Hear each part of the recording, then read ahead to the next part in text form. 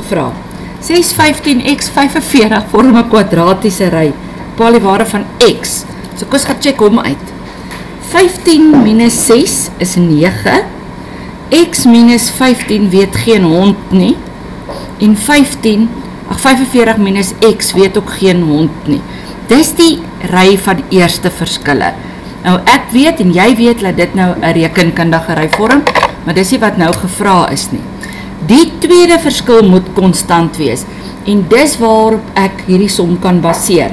Hulle sê vir my dis 'n kwadratiese ry, daarom weet ek dat ek weet die tweede verskil sal konstant wees.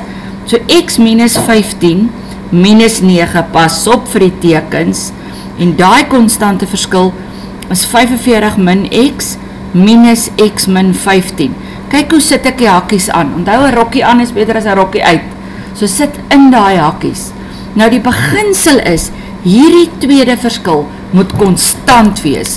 Dit beteken daai een moet dieselfde wees as daai een.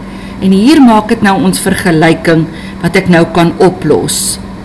45 plus 15, 45 plus 15 is 60 min 2x, so 3x is gelyk aan 84, so x is gelyk aan 3 gaan in 8 in 2 keer, 3 gaan in 8, 24 in 8 keer, so x is 28.